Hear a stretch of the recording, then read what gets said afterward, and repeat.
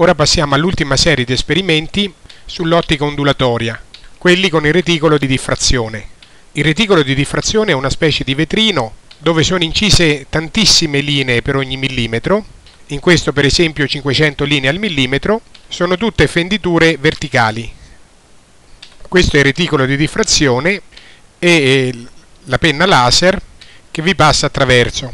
Noi abbiamo due reticoli uno da 500 e uno da 1000 righe al millimetro. 1000 righe al millimetro vuol dire che queste fenditure sono talmente vicine che la distanza tra due di loro è un millesimo di millimetro. Quindi il passo del reticolo è soltanto un micron. L'altro reticolo da 500 righe al millimetro, avendo la metà delle righe, ha un passo doppio, un passo di 2 micron. Facciamo un passo indietro e ricordiamo come si formava il profilo luminoso generato dalla tripla fenditura. Si partiva dal profilo luminoso della doppia fenditura e si aggiungevano dei minimi intermedi, qui erano tre minimi intermedi equidistanziati ogni due massimi eh, di Young. Si venivano così a formare non solo dei minimi intermedi ma anche dei massimi intermedi un pochino più deboli, come per esempio questi due che non erano presenti nel profilo luminoso della doppia fenditura. Aumentando il numero di fenditure a 4, i minimi intermedi da inserire erano 3, 1, 2, 3 e quindi tra i massimi di Young venivano a formarsi altri piccoli massimi luminosi più deboli. Tutto questo è spiegato qua.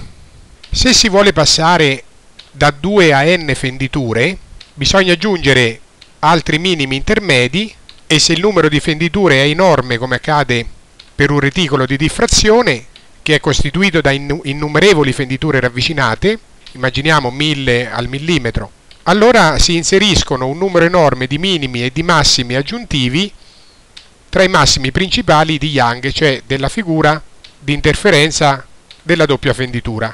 Qui è rappresentato quello che accade, questa è la figura di interferenza di Young della doppia fenditura, questi sono i massimi di Young e tra loro si inseriscono una serie di minimi luminosi aggiuntivi e di piccoli massimi luminosi aggiuntivi piuttosto deboli. Per esempio, in questa figura tra i due massimi luminosi di Young possiamo contare 5 minimi aggiuntivi, 1, 2, 3, 4 e 5, quindi deduciamo che le fenditure sono salite da 2 a 6. In quest'altra figura, tra due massimi luminosi di Young, possiamo contare 4 minimi aggiuntivi e 3 piccoli massimi secondari quindi deduciamo che le, eh, il numero delle fenditure è salito a 5, infatti questa figura ce lo conferma. Adesso immaginiamo un numero enorme di fenditure, migliaia e migliaia come nel caso di un reticolo, allora tra i massimi principali della figura di interferenza di Young compariranno una quantità enorme di minimi e massimi secondari molto deboli, così deboli che saranno praticamente invisibili tutti questi massimi secondari rimarranno visibili soltanto i massimi principali di Young, che oltretutto, come si vede dal confronto con la doppia fenditura, si saranno estremamente assottigliati. Quindi il profilo generato da un reticolo, grating, non sarà più a macchie luminose ma a puntini luminosi e i puntini luminosi avranno le stesse posizioni dei centri di quelle che erano le macchie della doppia fenditura. Quindi i puntini compariranno nelle stesse posizioni previste dall'esperimento di Young. Tutto questo è spiegato qui nel file, i massimi principali di Young diventano puntiformi e tra loro c'è praticamente un grande unico minimo esteso, cioè l'assenza di luce. Il reticolo restituisce un pattern fatto di puntini.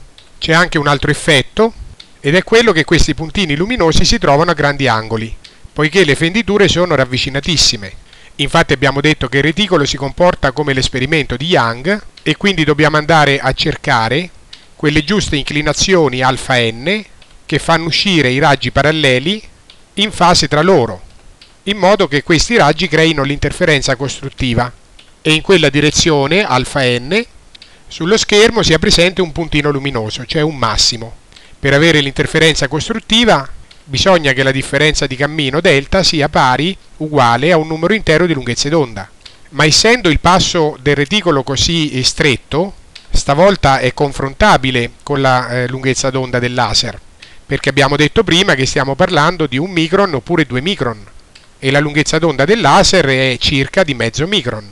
Quindi non c'è più quel rapporto 1 a 200 che c'era tra la lunghezza d'onda e il passo, la distanza fra le fenditure quando usavamo il reticolo, il, il vetrino con le fenditure incise.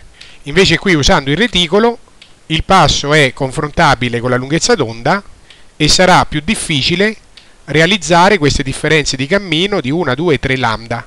Per farlo sarà necessario inclinare molto la direzione di uscita dei raggi. Questo quindi comporterà un pattern, cioè un profilo luminoso con questi puntini molto allargato, molto più allargato degli esperimenti di Young e Fraunhofer che abbiamo visto prima con quel vetrino e non sarà più necessario porre lo schermo a grande distanza dal reticolo. Non bisognerà più porlo a metri di distanza. Basteranno anche soltanto pochi centimetri, come infatti dimostra questa immagine.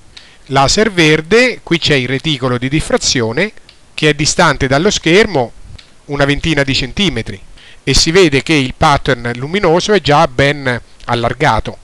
Le formule necessarie per risolvere gli esercizi e per interpretare i dati degli esperimenti sono sempre le stesse tre che abbiamo visto in precedenza. Attenzione che però questa volta non potremo più approssimare D con L.